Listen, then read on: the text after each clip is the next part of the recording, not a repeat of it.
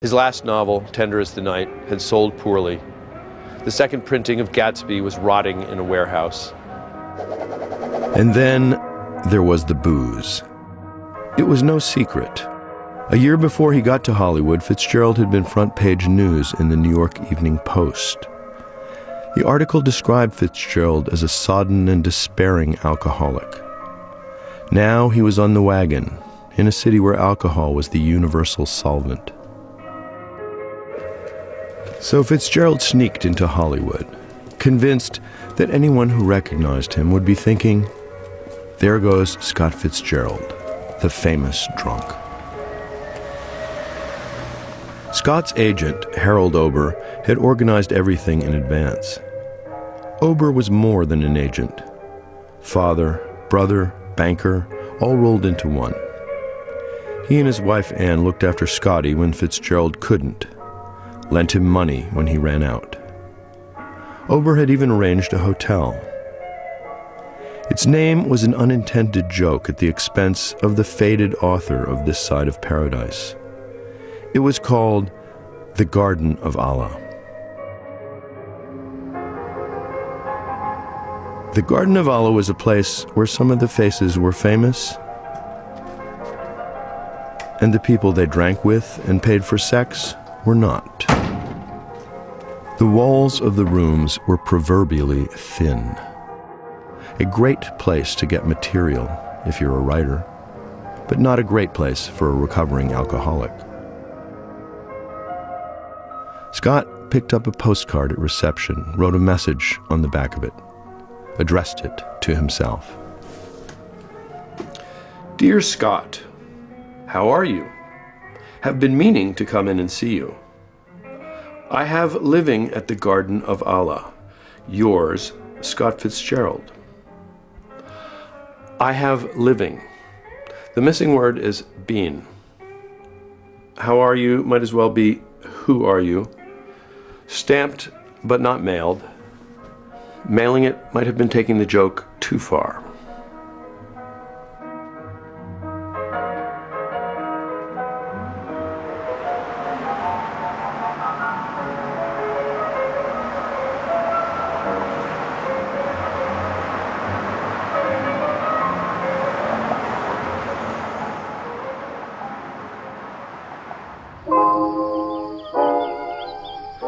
Fitzgerald checked in at MGM Studios, now the home of Columbia Pictures, the day after he arrived in LA, even though it was a Saturday. He was desperate to remake his name. But writers had no special place, they worked in teams. He wrote to Scotty. She was 16 now. He called her Pie. Dear Pie, I must keep my hand on the wheel from the start, find out the key man among the bosses and the most malleable among the collaborators, then fight the rest tooth and nail until I'm alone on the picture. That's the only way I can do my best work. On his first job, as one of a team writing the dialogue for A Yank at Oxford, Fitzgerald was painfully timid. Struggling to rebrand himself as sober, he sat silent at lunch, Coke bottle in hand.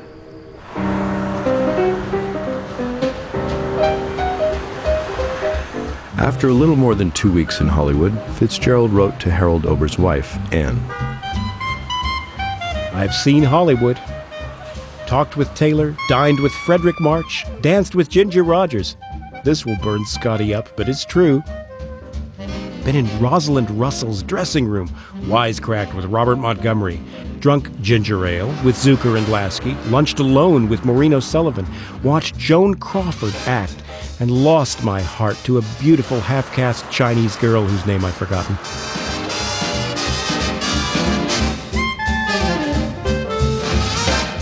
From now on, I go nowhere and see no one because the work is hard as hell.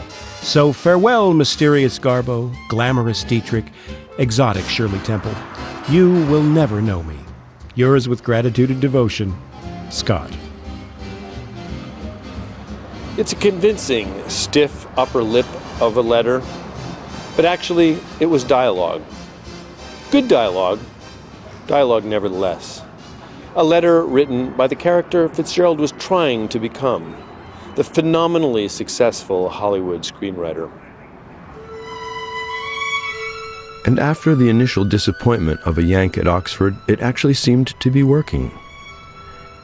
He was given the job of adapting a novel for the screen, Three Comrades. He was guaranteed a screen credit, and he began to enjoy himself. He wrote to Anne Ober, wife of his agent Harold. Dear Anne, I love it here. It's nice work if you can get it, and you can get it if you try about three years. The point is, once you've got it, screen credit first, a hit second, and the Academy Award third, you can count on it forever. Ever affectionately, Scott Fitz. He wrote to Maxwell Perkins Everyone is very nice to me, surprised and rather relieved that I don't drink. I'm happier than I've been in several years. He could have added, there was, of course, a girl.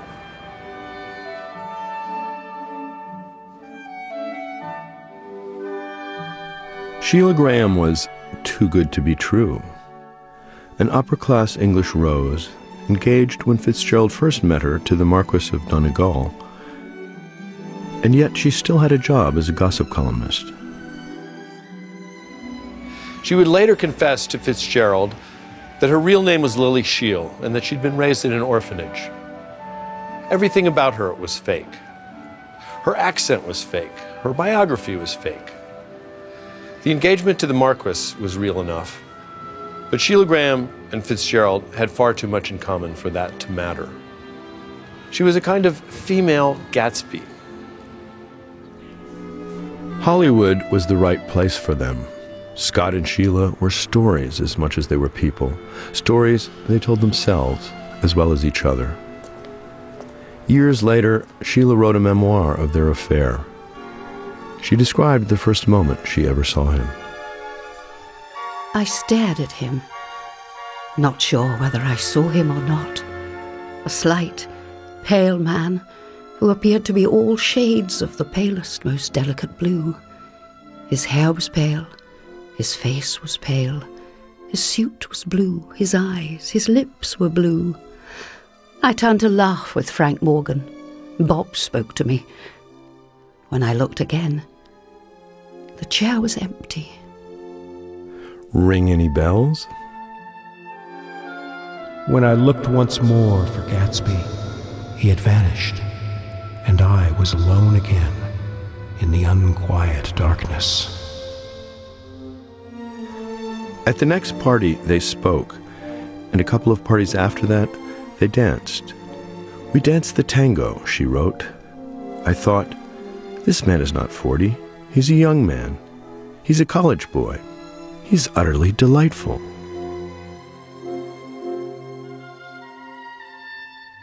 She looked or he thought she looked, he convinced himself she looked like Zelda.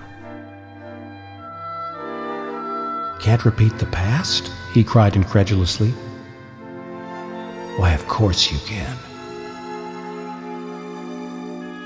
Three weeks after they'd met, Sheilah Graham went out for a meal with her 40 year old college boy and his 16 year old daughter, Scotty and Sheilah watched her college boy transform into a nervous, controlling dad, constantly correcting Scotty's posture, urging her to eat her peas.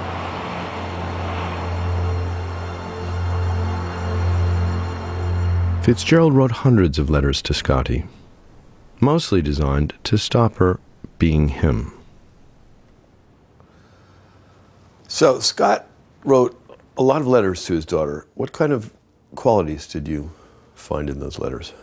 Well, if I'd been getting those letters, I would have had a very hard time reading them. They were very stern and always setting a higher standard for her than he perceived her to be setting for herself. Full of advice. This letter has always struck me. Uh, he wrote to her in 1938. He writes When I was your age, I lived with a great dream the dream grew, and I learned how to speak of it and make people listen. Then the dream divided one day when I decided to marry your mother after all, even though I knew she was spoiled and meant no good to me. I was sorry immediately I had married her, but being patient in those days made the best of it and got to love her in another way. You came along, and for a long time we made quite a lot of happiness out of our lives. But I was a man divided. She wanted me to work too much for her and not enough for my dream. She realized too late that work was dignity and the only dignity, and tried to atone for it by working herself, but it was too late and she broke and is broken forever. Now that's very confidential in a way, although it is a rewriting of history.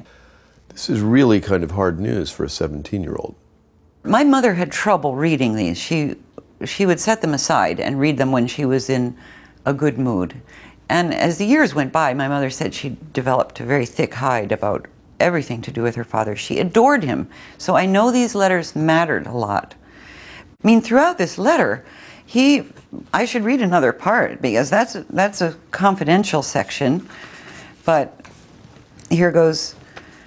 Um, to sum up, what you have done to please me or make me proud is practically negligible since the time you made yourself a good diver at camp.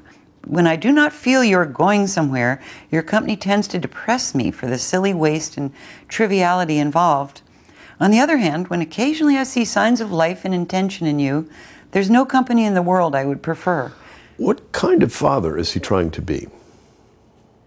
I think he's trying to be a mother and father at the same time, although a mother wouldn't be as harsh. Um, my mother felt that he was writing the letters really to himself, that sometimes he was coaching himself in his best behavior, um, and other times he he felt that his if he had followed the advice that he was giving her, his life would have turned out better.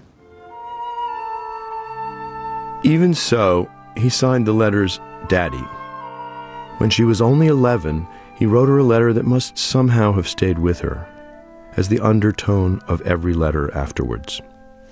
The advice was for her, the bitter experience was his, and he wanted it to stay that way. Things to worry about. Worry about courage. Worry about cleanliness. Worry about efficiency. Things not to worry about. Don't worry about popular opinion. Don't worry about dolls. Don't worry about the past. Don't worry about the future. Don't worry about triumph. Don't worry about failure unless it comes through your own fault. Don't worry about mosquitoes. Don't worry about flies. Don't worry about insects in general. Don't worry about parents. Don't worry about boys.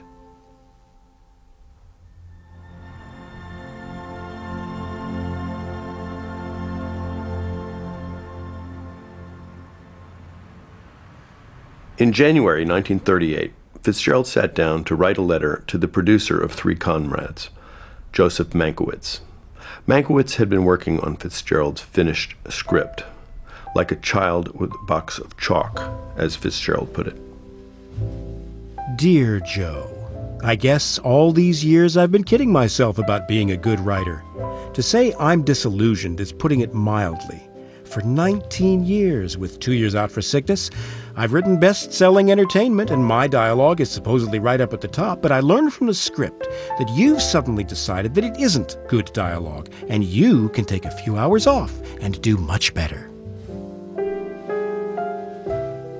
The rewritten film, he said, would confuse and depress everybody. Except for the 10 year olds, who are so confused anyway that I can't believe they make or break a picture. But Fitzgerald simply couldn't tell what was going to be a good picture and what wasn't. Three Comrades was released in a form that Fitzgerald thought sloppy and sentimental, but it got great reviews and did good business. It was a minor hit. So MGM increased his weekly salary and gave him Joan Crawford's next movie to write, Infidelity, a film which would explore the world of extramarital affairs. By 1938, Fitzgerald expected failure. He was preternaturally attuned to its approach. His antenna twitched whenever it impended. and whenever it failed to. He expected three comrades to be a failure, and it succeeded.